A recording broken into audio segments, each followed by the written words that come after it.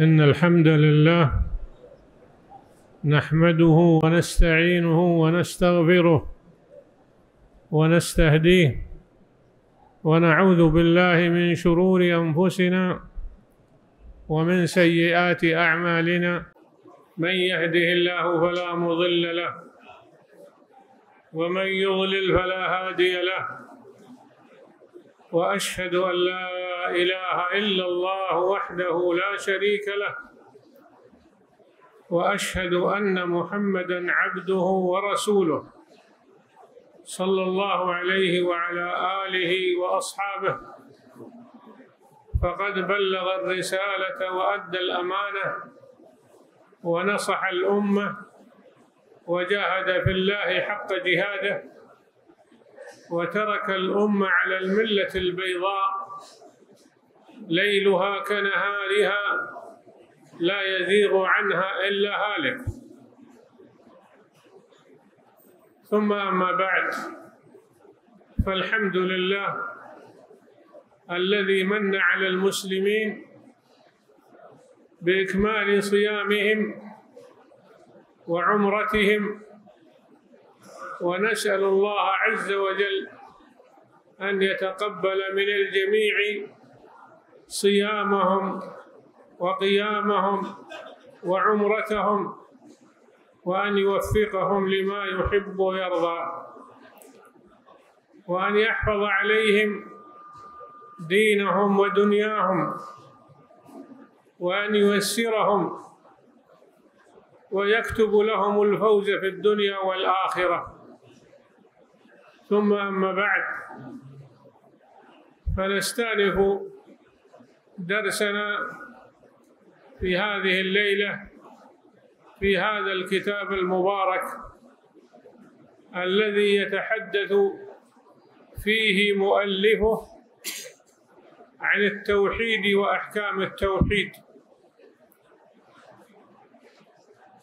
وما يتعلق بتوحيد الأسماء والصفات وتوحيد الألوهية وتوحيد الربوبية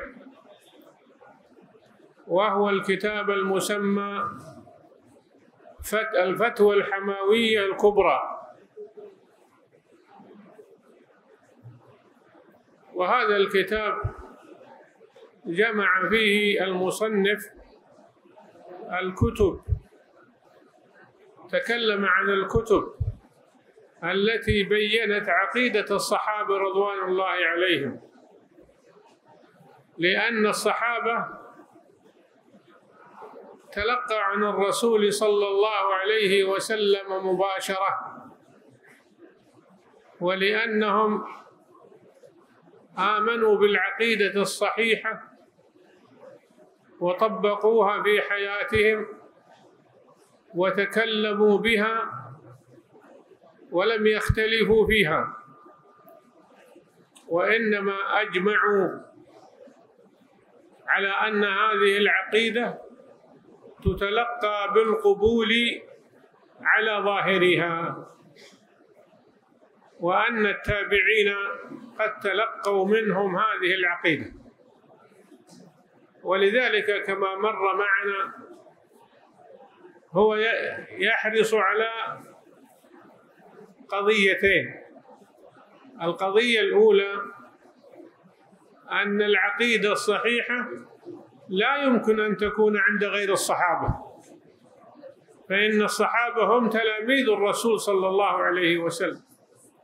وزكاهم الله في القرآن وزكاهم الرسول صلى الله عليه وسلم فعقيدتهم هي العقيدة الصحيحة. ولم يكن بينهم خلاف في هذه العقيدة. ولو كان بينهم خلاف لنقل.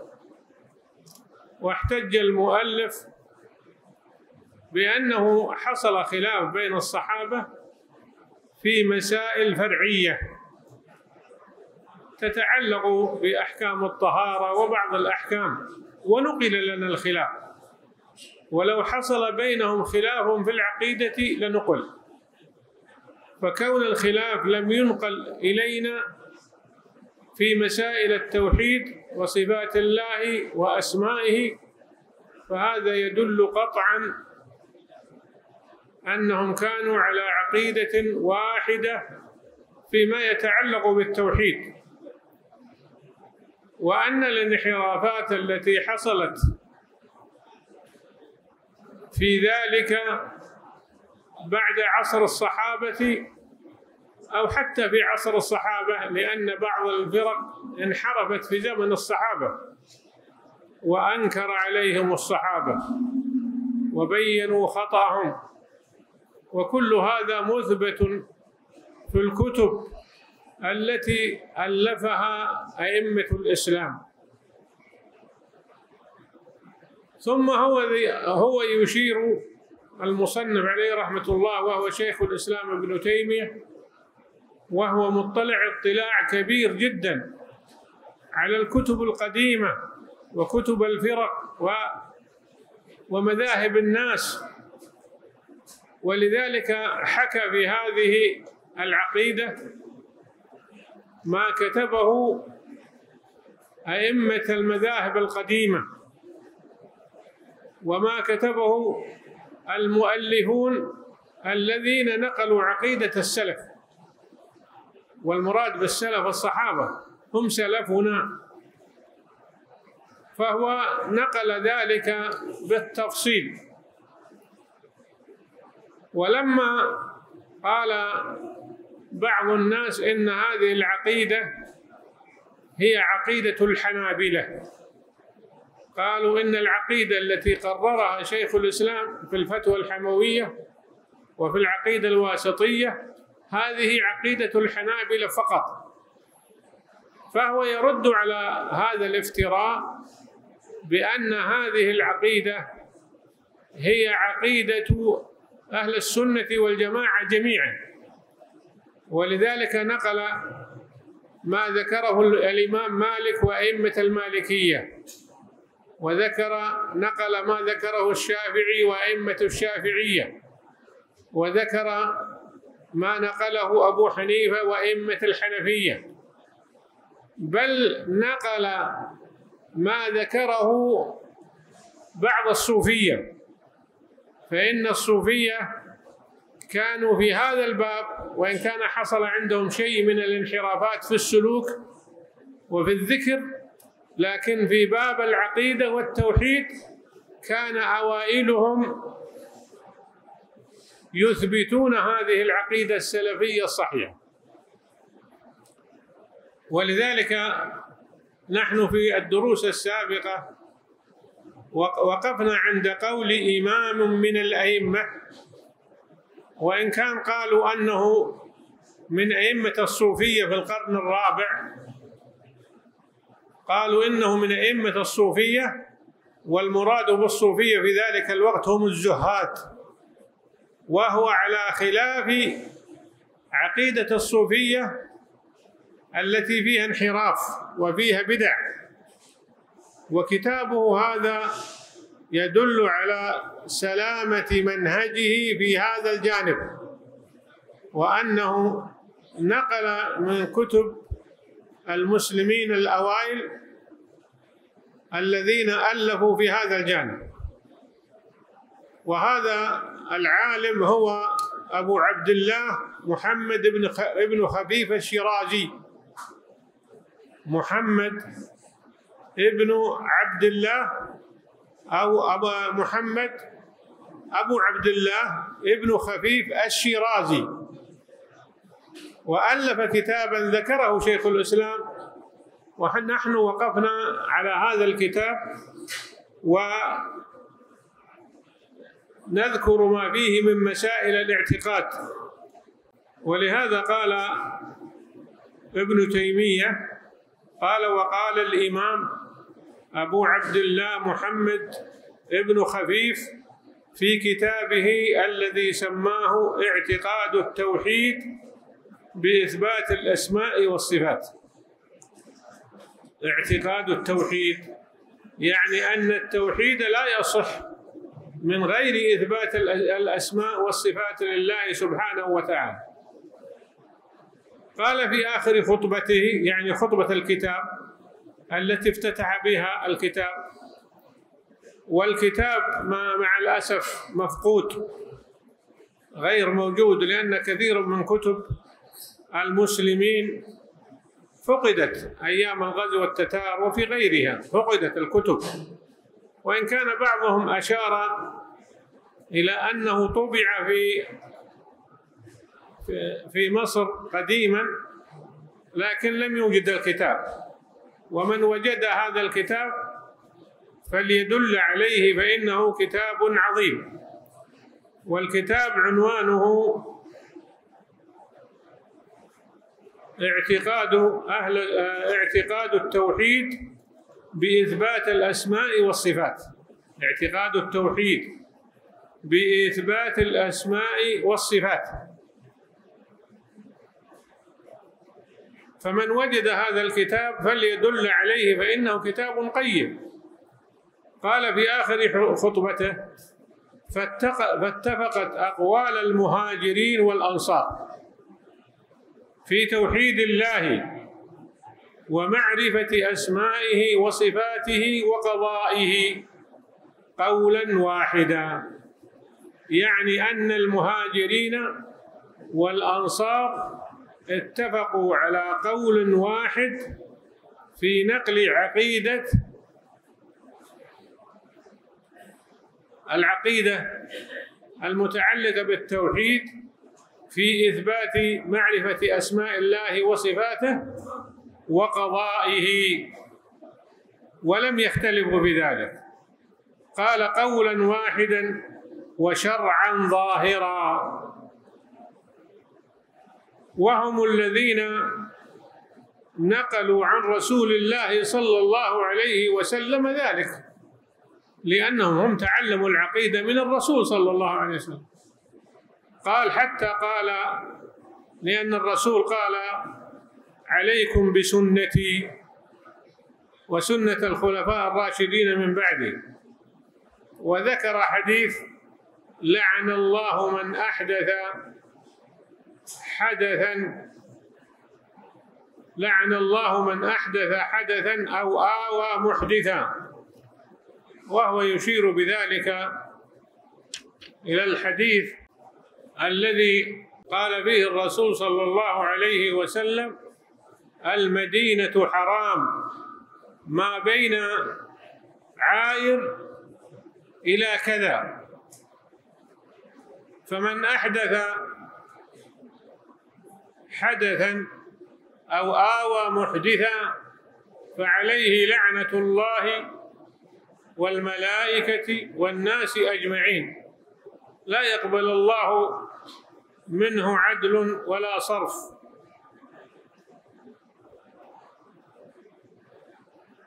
وفي بعض روايات الحديث لعن الله من لعن والده. ولعن الله من ذبح لغير الله. ولعن الله من آوى محدثا. ولعن الله من غير منار الأرض. ولذلك تلقوا الصحابة هذه العقيدة من الرسول صلى الله عليه وسلم.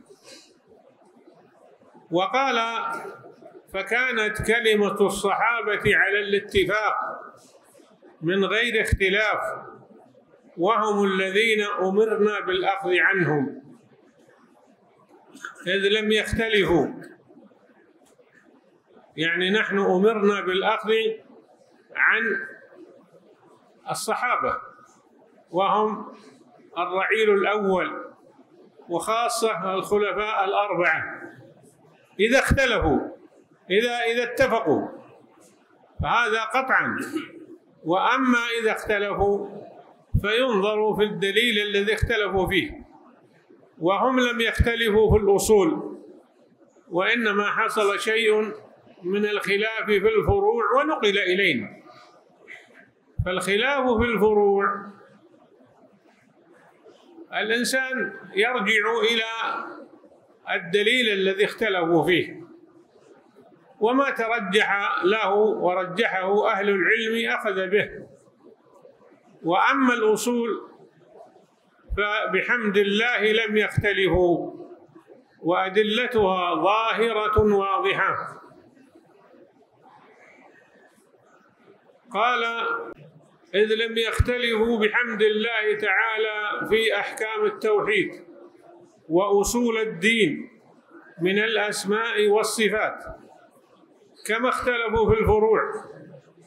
ولو كان منهم في ذلك اختلاف لنقل إلينا كما نقل سائر الاختلاف. فاستقر صحة ذلك عند خاصتهم وعامتهم. حتى أدوا ذلك إلى التابعين لهم بإحسان. فاستقر صحة ذلك عند العلماء المعروفين. حتى نقلوا ذلك قرنا بعد قرن.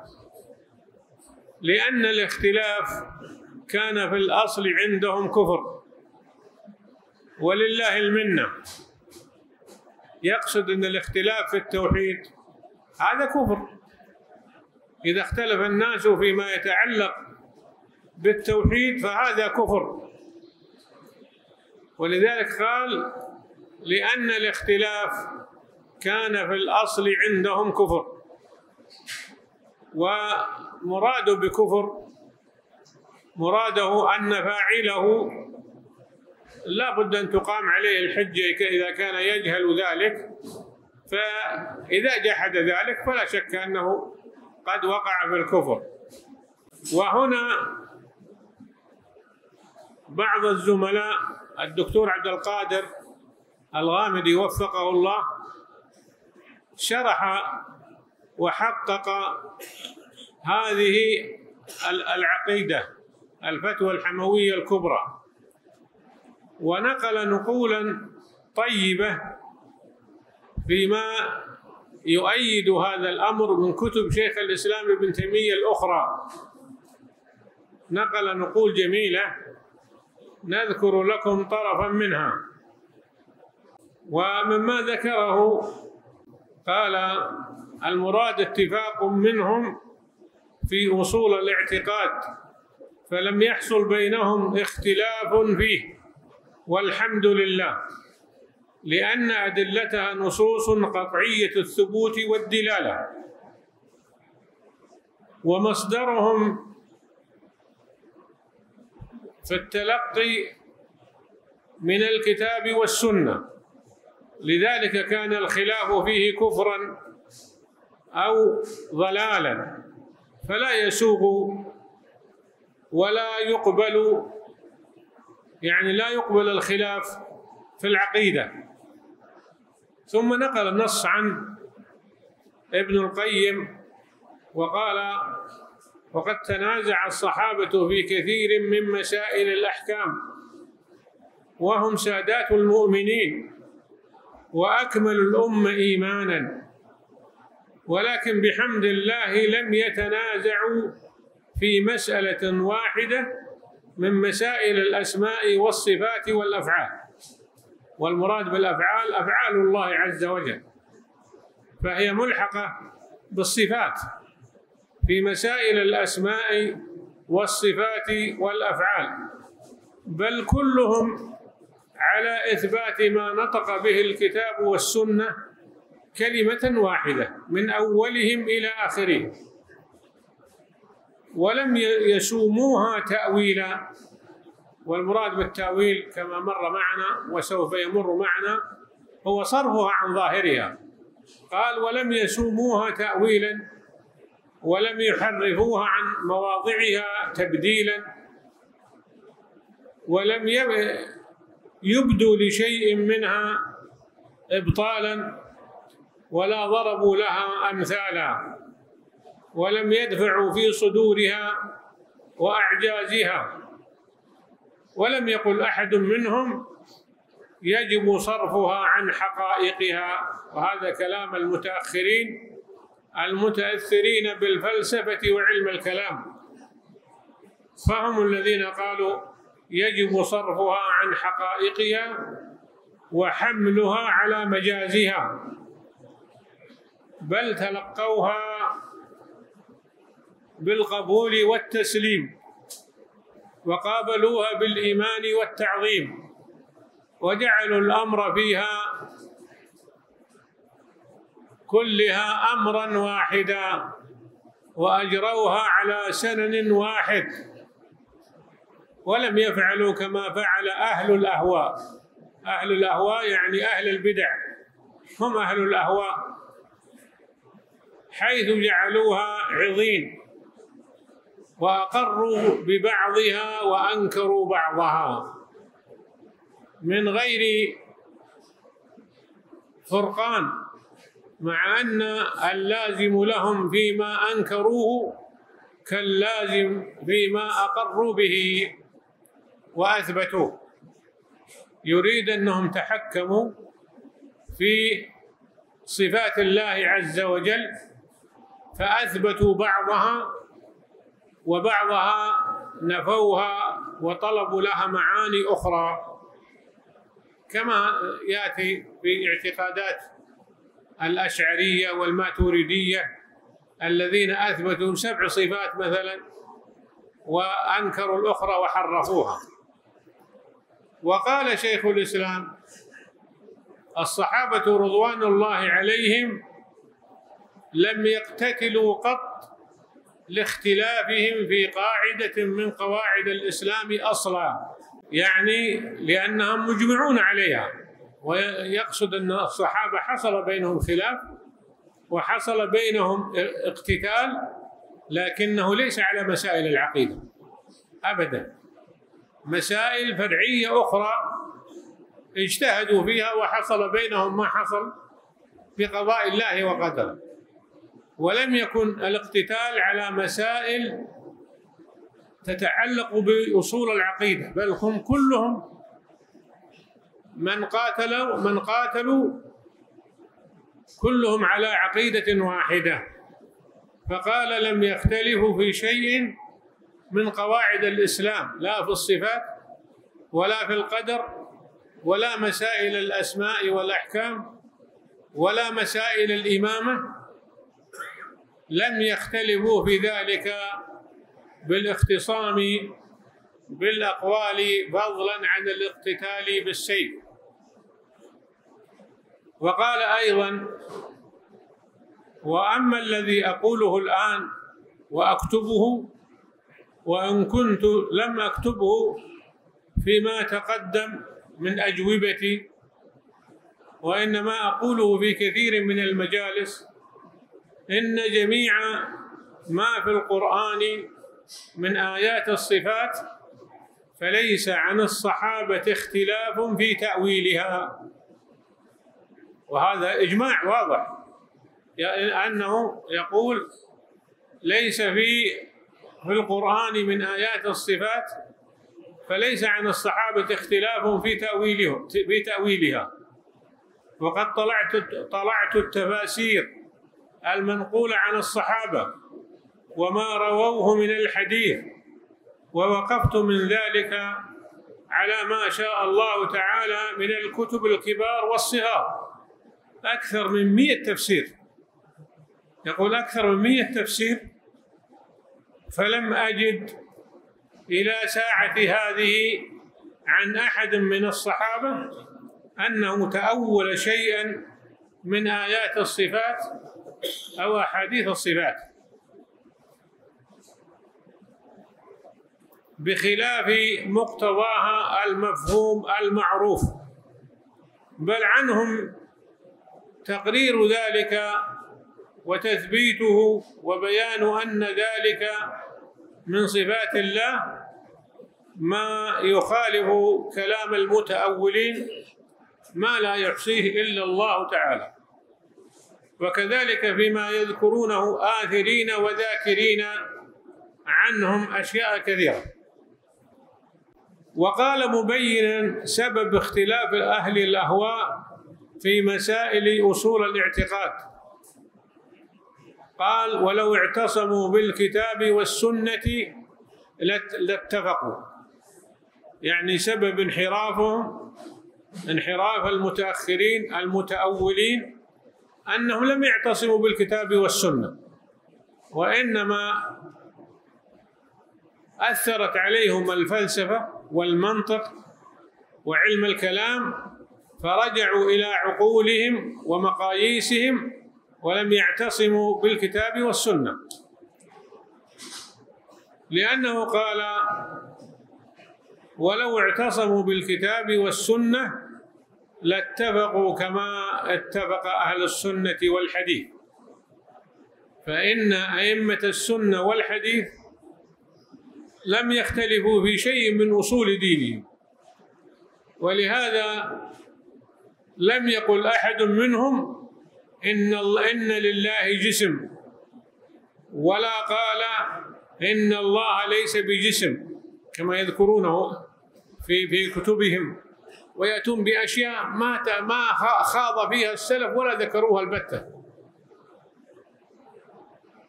بل أنكروا النفي لما ابتدعته الجهمية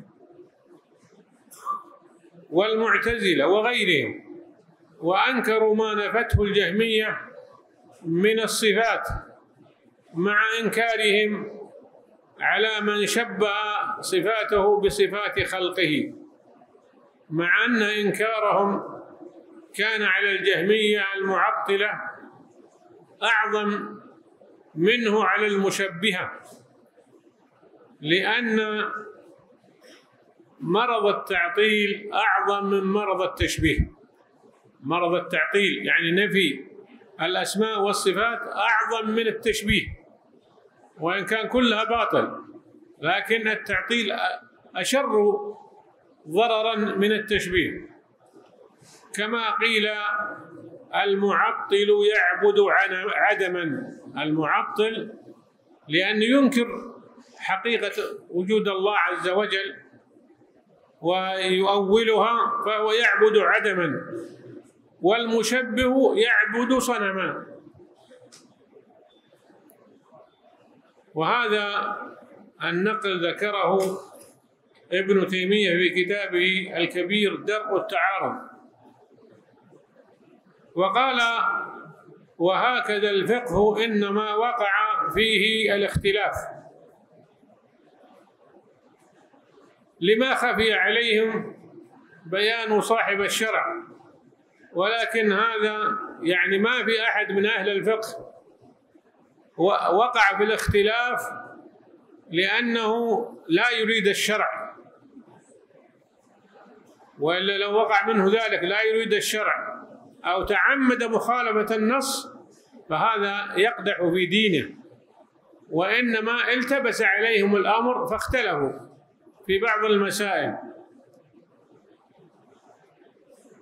ولكن هذا إنما يقع النزاع في الدقيق منه في الدقيق منه. وأما الجليل فلا يتنازعون فيه. والصحابة انفسهم أنفسهم تنازعوا في بعض ذلك ولم يتنازعوا في العقائد ولا في الطريق إلى الله. التي يصير بها الرجل من أولياء الله الأبرار المقربين. فبين رحمه الله أن الجليل من مسائل الدين سواء في الفقه أو في الاعتقاد وهو ما يسمى بأصول الدين. انتبهوا لهذه المسألة. بعض الناس يظن أن أصول الدين هي في العقائد فقط. يعني في الغيبيات. وهو يريد أن يبين بأن أصول الدين تشمل أركان الإسلام. يعني يعني الزكاة الحج هذه من أصول الدين. الجليل منها الصيام. فأصول الدين ليس المقصود به الغيبيات فقط. والعقائد وإنما أيضا أركان الإسلام من أصول الدين. والخلاف فيها هو في بعض تفاصيلها فهو يقول الجليل يعني الشيء العظيم الكبير ما اختلفوا فيه أبدا خاصة لأدلته متواترة وصحيحة فهم لم يختلفوا فيه وهذا من أصول الدين. وإنما اختلفوا في الدقيق منها. قال إنما وقع التنازع في الدقيق من مسائل الفقه وكذا الاعتقاد وهو ما يسمى فروع الدين. اللي بعض الناس يقول هذا في الفروع اختلفوا في الفروع. هي الدقيقة وهي المسائل الاجتهادية التي لا نص قاطع فيها. لا نص قاطع فيها. أما التي فيها نص قاطع ثابت صحيح فهذا أصل. ولا يمكن ولا يليق الخلاف فيه البتة. ثم ذكر أمثلة على على فروع العقيدة. قال ومن فروع العقيدة التي وقع فيها النجاع بين السلف مسألة هل رأى محمد صلى الله عليه وسلم ربه يقصد ليلة أسري به. ليلة أسري به هل رأى الله ولا ما رأى الله؟ هذه مسألة خلافية. هذه مسألة خلافية. وهي من أمور الغيب والعقائد هذه التي حصل فيها خلاف وهو خلاف لا يفسد العقيدة لأن النصوص محتملة. وأيضا مسألة هل يرى الكفار ربهم في العرصات يوم القيامة؟ يعني إذا بعث الناس هل الكفار يرون ربهم؟ أم الكفار محجوبون عن الله ما يرونه حتى يوم القيامة؟ أيضا هذه مسألة خلافية. وهل هل أول المخلوقات القلم أو العرش. يعني لما خلق الله عز وجل القلم قال له اكتب. قال وما أكتب؟ قال اكتب كل ما هو كائن إلى قيام الساعة. هل لما خلق الله القلم كان على العرش مستوي على العرش؟ وقال ذلك أو أن العرش قبل القلم وقال ذلك فهذه أيضا من مسائل الخلاف. ومنها تعلق التميمه من القرآن. وهذه التميمه يعني الذي يتعلق شيء مكتوبا حرز يحتفظ به. هل يجوز أن له أن يتعلق بالمصحف؟ أم لا يجوز به ولا يتعلق بشيء؟ البتة. فهذه أيضا من مسائل الخلافية بين الصحابة. وأيضا فيما يتعلق بالصحابة هل يقدم علي على عثمان في الفضل؟ أم هم يتساوون؟ أم يقدم علي على عثمان؟ أيضا مسألة خلافية. لكن التقدم على الشيخين هذه مسألة قطعية. يعني ما ما ما في الشيخين أبي بكر وعمر في تقديم أحد عليهم البتة وإنما فهذا من الأصول المتعلق بالشيخين. ومما هو مجمع عليه. وأيضا في مسألة هل هناك فرق بين الإسلام والإيمان؟ هل هي مترادفة الإسلام والإيمان أم لكل واحد منهما معنى؟ أم إذا اجتمع افترق وإذا افترق اجتمع. وهذا سوف يمر معنا في مسائل الإيمان.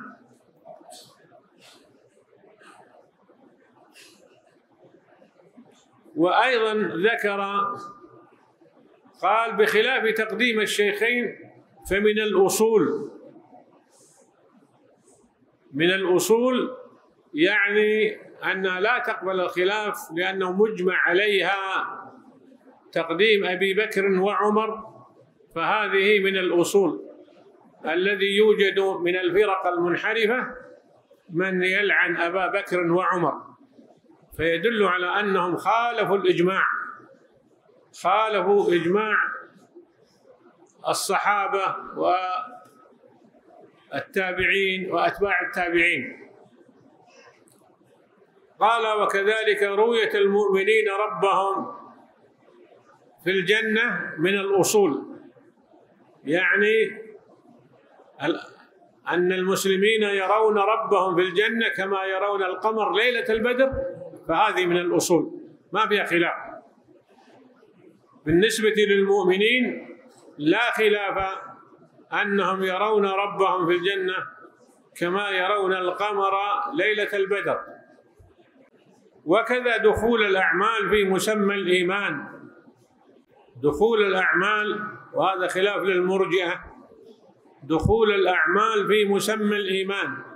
فالإيمان ليس مجرد التصديق فقط بل لا بد من عمل والأعمال داخلة. وهذه مسألة قطعية الأعمال داخلة في مسمى الإيمان. ولهذا ينص شيخ الإسلام في العقيدة الواسطية على ذلك فيقول في كثير منها ومن أصول أهل السنة ثم يذكره. ويقول الشاطبي الخلاف من زمان الصحابة إلى الآن واقع في المسائل الاجتهادية. يعني من زمن الصحابة إلى الآن الخلاف هو في المسائل الاجتهادية وليس في الأصول. الخلاف عند أهل السنة. أما أهل البدع فبعضهم خالف. كالفرق كالروافض والخوارج والمعتزلة خالفوا مبكر خالفوا لكن خلافهم لا يعتد به. خلافهم باطل ومردود بإجماع الصحابة رضوان الله عليهم. قال واقع في أول المسائل الاجتهادية وأول ما وقع الخلاف في زمان الخلفاء الراشدين المهديين في سائر الصحابة ثم في سائر الصحابة ثم في التابعين والمسائل الاجتهادية هي مسائل الفروع. والخطأ في مسائل الفروع والأصول يقع من عدة جهات. منها إدخال ما ليس من الأصول فيها. يعني الخلاف يأتي من عدة جهات. فبعض من الناس يعد شيئا من الأصول وهو ليس من الأصول. هو من دقيق المسائل. فيحدث بذلك خلافا. ومعلوم أن أصول الدين أدلتها من الوحي وأدلتها نصوص قطعية الثبوت والدلالة. فمن الباطل الذي يترتب عليه فساد عريض أن يدخل في أصول الدين ما لا دليل عليه في الكتاب ولا في السنة. يعني مما يسبب الانحراف أن يدخل في أصول الدين مسألة ليس لها عليها دليل لا في الكتاب ولا في السنة. وهذا سبب ضرر كبير جدا من الفرق المنحرفة حيث فيه خاصة عند أهل الكلام أدخلوا مسائل في أصول الدين وهي ليست من أصول الدين. كما تحدثوا عن الأعراض والجواهر ونحو ذلك من العبارات ويرونها أصول قطعية للدين وهي ليست من أصول الدين أصلا بل ولا حتى من فروعه ولا خاض فيها الصحابة وهم يعتبرونها من أصول الدين. ومعلوم أن أصول الدين أدلتها من الوحي وأدلتها نصوص قطعية الثبوت والدلالة. ومن الباطل الذي يترتب عليه فساد عريض أن يدخل في أصول الدين ما لا دليل عليه في الكتاب ولا في السنة كما فعل الشيعة في مسألة الإمامة. كما فعل الشيعة في مسألة الإمامة واعتقادهم أن أن فيه إمام معصوم نص عليه الرسول صلى الله عليه وسلم وهذا باطل. وهذا الذي أحدث الفساد العريض بين من قديم في دين الشيعة. كما فعل وكما فعل المتكلمون من إدخال ما يتعلق بالجوهر الفرد ودليل حدوث الأجسام والجواهر والأعراض في أصول الدين.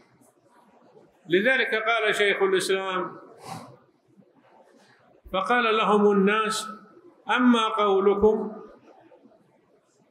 إن هذه الطريق هي الأصل في معرفة دين الإسلام ونبوة الرسول صلى الله عليه وسلم فهذا مما يعلم فساده بالاضطراب من دين الإسلام. فإنه من المعلوم لكل من علم حال الرسول صلى الله عليه وسلم وأصحابه وما جاء به من الإيمان بالقرآن أنه لم يدعو الناس إلى هذه الطريق أبدا. ولا تكلم بها أحد من الصحابة ولا التابعين ولا التابعين لهم بإحسان. فكيف تكون هي أصول الإيمان والذي جاء بالإيمان؟ وأفضل الناس إيمانا لم يتكلموا بها البتة. ولا سلكوا منهم أحد. ولا سلكها منهم أحد. يعني هذه الأدلة التي يستدل بها أهل الكلام والجواهر والأعراض وأدلة الأجسام وما يتعلق بعصمة الإمام ونحو ذلك كلها ما تكلموا فيها الرعيل الأول بل ما تكلم بها الرسول ولا التابعون لهم بإحسان. فدل على أنها من البدع التي أحدثت شرخا كبيرا في الإسلام. فمن الخطأ إذن إدخال مسائل من الفروع في الأصول فيترتب على هذا التبديع والتكفير والاقتتال. يترتب على هذا التبديع لأنك إذا قلت هذا أصل فإن من خالف الأصل فهو مبتدع. فإذا أدخلت مسألة ما هي نص ما هي أصل من الدين بنص الشارع فأنت فتحت بابا للتكفير وفتحت بابا للابتداع وفتحت بابا للتقاتل. إذا أتيت بمسألة من فهمك أنت فهمت كذا. وليس عليها دليل من الكتاب والسنة؟ لا ودليل قطعي فهذا لا يلتفت إليه وهذا سبب الفساد. وأكثر خلافات الناس الآن تدور حول هذا. يأتي شخص فيفهم من من نص ما فهما ثم يعتبر هذا الفهم الذي فهمه أنه من أصول الدين. ثم يبدع من خالفه أو كفره وهو ليس من أصول الدين.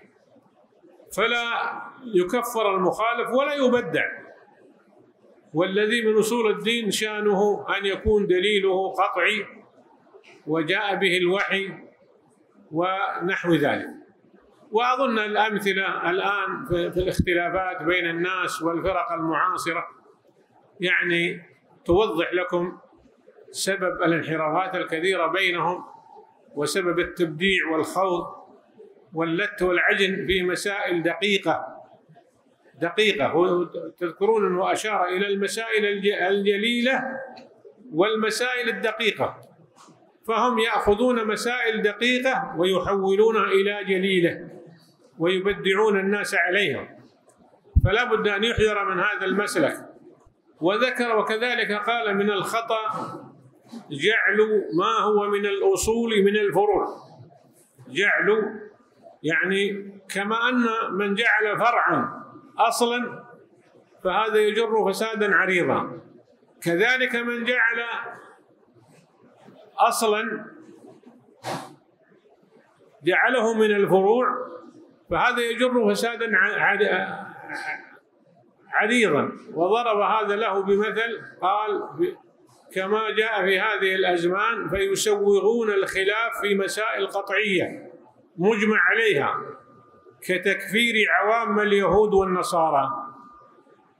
لأنه يشير إلى أن في نابتة تقول عوام اليهود والنصارى ما ما منذ عاشوا فهم عاشوا على عوام يتبعون القسس.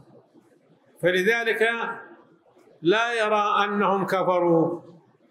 يرى أن عوام اليهود والنصارى لا يكفرون لأنهم عوام يتبعون القسس وهذا جعل مسألة أصلية بأنها من الفروع. لأن تكفير اليهود والنصارى محل إجماع سواء عوام ولا ما هم عوام. تكفير اليهود والنصارى محل إجماع. ما دام أنه لم يدعي الإسلام ولم يعتنق الإسلام فإنه يعتبر كافرا. ولذلك ما فرق الصحابة بين عوامهم وبين علمائهم وإنما اعتبروهم كلهم كفار. ويعرض الإسلام على الجميع فإن دخلوا فيه فهم من المسلمين. وان امتنعوا عنه حتى لو قالوا نحن ما فهمنا الإسلام. لم نفهم الإسلام. والقسس والقسس ما شرحوه لنا. لأن براهين الإسلام واضحة. وليس لأحد حجة إذا لم يفهمه.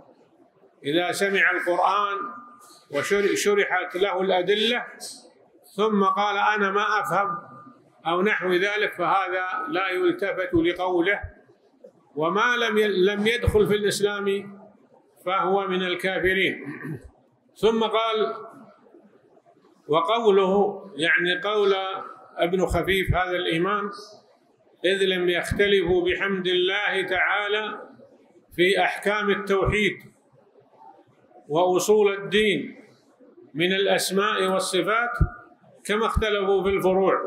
قال شيخ الإسلام الحق أن الجليل من كل واحد من الصنفين مسائل أصول الدين والدقيق مسائل الفروع فالعلم بوجوب الواجبات كالمباني كمباني الإسلام الخمسة وتحريم المحرمات الظاهرة المتواترة كالعلم بأن الله على كل شيء قدير.